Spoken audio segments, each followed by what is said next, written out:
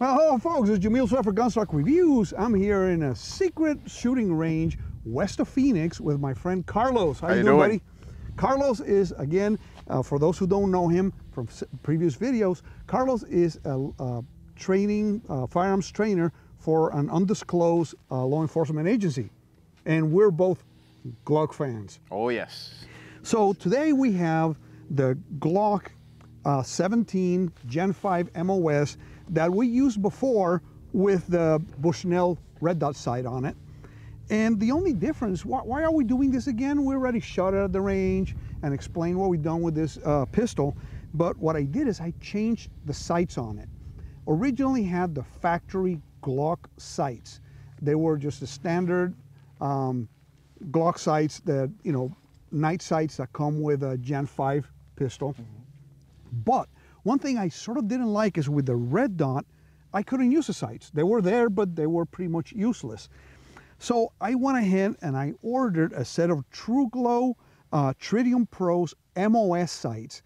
That means they are actually made higher for the MOS pistol and they're really narrow so they don't interrupt your uh, red dot. And because the, the sight on the MOS pistols sits farther, the original sights stuck out of the back uh, yes. just a wee bit. They look kind of funky. If you were shooting them, I mean, they work perfectly well, right?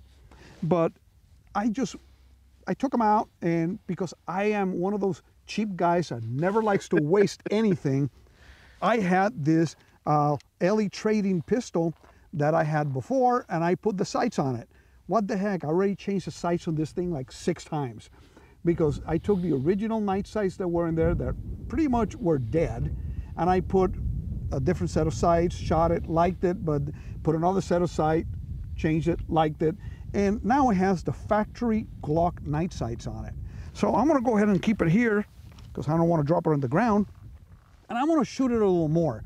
Um, with the night sight, the cool thing about these is you can actually co-witness your sights just in case your red dot dies. Yes. But you know what? You know how many hours this thing life has? I mean, has a lifetime of 5,000 hours. 5, that's a couple of years, I think. Yeah. Like, about as, uh, that's what, about as uh, much as a Barney Dinosaur show lasts. Oh, oh God, yeah. Okay, let's look. Uh, no, no, no, no, no, shut up. I had to, you know, I'm glad my grandson does, is not into Barney, okay? Because my daughter was. So it's a long oh, story oh, about that. I saw Barney live at America West Arena back in the 90s, okay? So shut up. so that's scary. Okay, so let's shoot it a little more and then I'll have Carlos shoot it. I'm gonna finish his mag. I'll have you shoot it and see how you how you like the both co-witnessing and getting your sight picture and how fast is it now with both the red dot and the uh, iron sights.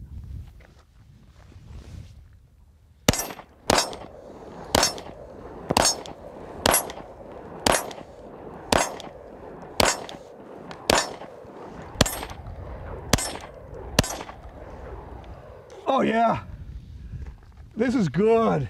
What do you think, Carlos?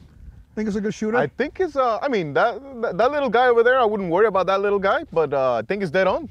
Yeah, it's dead on. Uh, when And actually, when I got it back from, um, when I originally got this pistol and we sighted it in, we learned at Gunsite to sight these uh, red dots at 15 yards. Hmm. Okay, so that's where it's shot for. It was pretty much from the factory It's pretty dang close. Uh, windage is perfect. A little elevation to 15 yards. We want. I shot it. I sighted it again uh, in an indoor range from the bench at 15 yards. So I think it's, I think it's a good shooter. Now, buddy, your let's, chance, man. Let's give it a try. Yeah, let's try see. it, man. All right. All right. Let's let's see what she can do. Oh, that's it's on to go a little faster.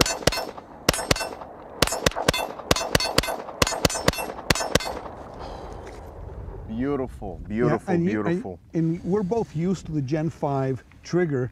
That has an Apex trigger on it, by the way. Very I. That's the first thing I did is get an Apex trigger, and I actually put an Apex extractor on it. Oh, it's smooth, yeah, yeah. Yeah, it has an Apex extractor. The Apex yeah. extractor is old machine from bar stock and actually does not have the you know loaded chamber indicator, which actually we were discussing this earlier. Our uh, loaded chamber indicator is a press check. Yep. Just make sure that. But then again, rule number one: Yep. all guns are always loaded, so doesn't really matter. Right? So I think it's a really, really good pistol. I It's like a, it. It's a it's a good combination. That red dot is a really good red dot, but like you said, uh, so far all the red dots that your agency has tested, Uh, yeah. Unfortunately, every uh, red dot has uh, has died.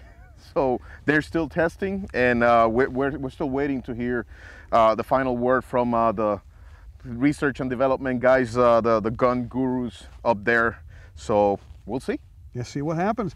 Well, great guy, Carlos. Appreciate Thank you, it, man. Thank you for letting me shoot it. Hey, let's go ahead and uh, continue shooting because it's a fun little pistol. And then again, we shot it before. We shot it before. We just changed the sights on it. Yeah, we might do some more changes on it later, but right now it's a great little pistol. So again, guys, thanks for watching. Be safe and have fun on the range. Thank you for watching Gunstock Reviews. Please visit our website at www.gunstockreviews.com for more exclusive content. Please visit our Patreon page at www.patreon.com slash gunstockreviews. Your contributions would be greatly appreciated and help us grow our selections and frequency of videos.